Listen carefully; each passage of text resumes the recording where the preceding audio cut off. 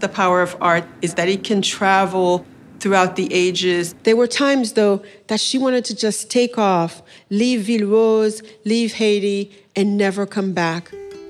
In my writing, I cover immigration. We're always going through cycles of immigration where immigrants are scapegoated. I was separated from my parents for eight years in Haiti while they were working here in the United States. So for me, that's worth exploring because the more we know about people, the less likely we are to be prejudiced against them.